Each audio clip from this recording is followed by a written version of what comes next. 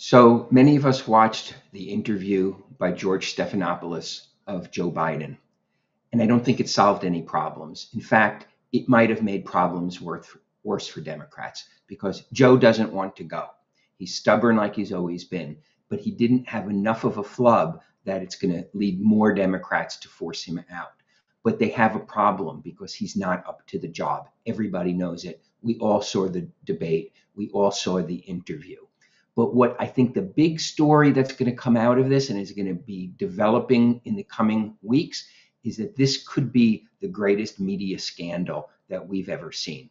And it's the greatest media scandal, not just because the media lied, uh, not just because they deceived us. That's happened so many times, but they did it to cover up what we all saw in plain sight.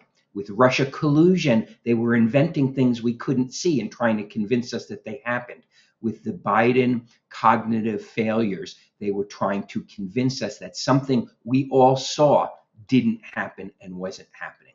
And I predict that this will be the greatest media scandal, at least in the last 10 or 20 years.